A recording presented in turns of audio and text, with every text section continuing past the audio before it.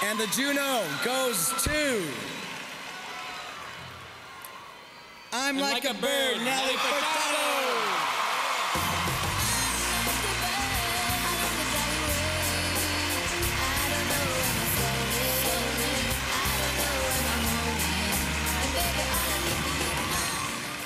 This is amazing. This is awesome. I'm really excited.